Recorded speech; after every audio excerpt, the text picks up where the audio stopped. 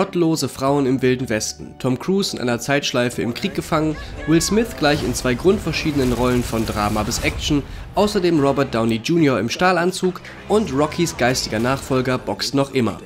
All das und noch mehr gibt es für euch im November auf Netflix. Hier sind unsere Tipps. God didn't do this. We did. Einer der erfolgreichsten Filme des Jahres 2007 zeigt uns Will Smith als einzigen Überlebenden in einem von zombie-ähnlichen Kreaturen bewohnten New York.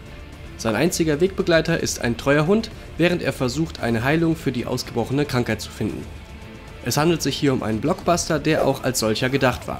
Mit einer Menge Action, teuren Szenerien und einer Buchvorlage, die praktisch im Alleingang das postapokalyptische Zombie-Genre beliebt gemacht hat.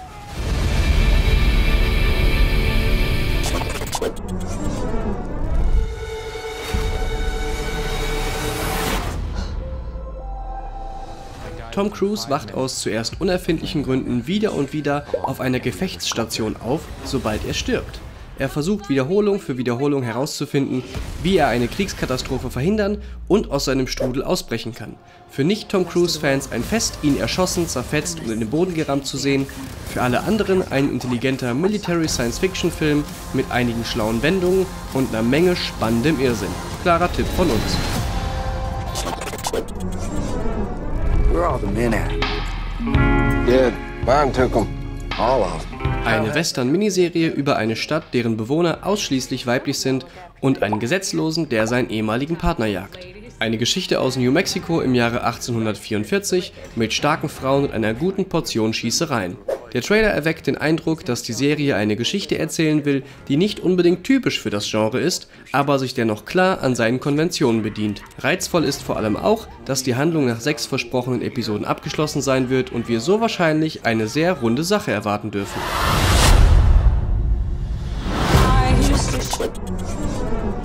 Wenn Sie den Vertrag unterschreiben, gehört mein Haus Ihnen. Ich bitte Sie nur, nie mit mir Kontakt aufzunehmen. Will Smith gleich noch einmal in einem unserer Tipps für den November. Aber diesmal ohne Action, aber mit extra Heulen.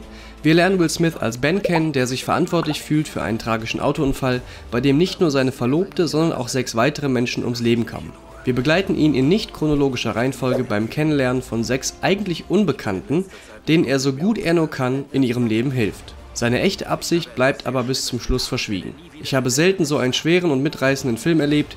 Wer hier nicht weint, hat kein Herz. Eine wirklich, wirklich tragische, aber auch schöne Geschichte. Und hier noch ein paar Tipps im Schnelldurchlauf.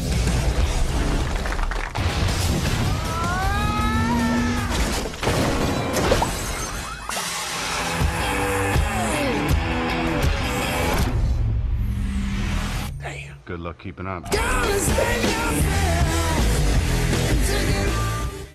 It's not a choice for me.